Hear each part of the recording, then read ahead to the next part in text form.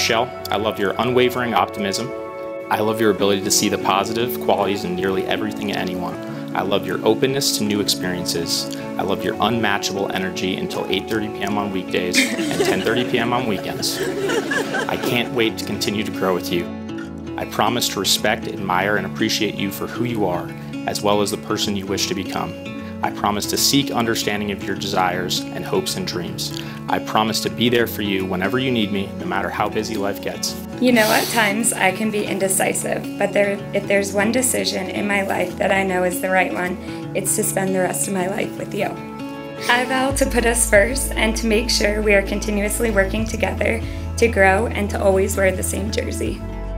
Michael, you are my person, my best friend, and my soulmate. There will be no end to my love for you.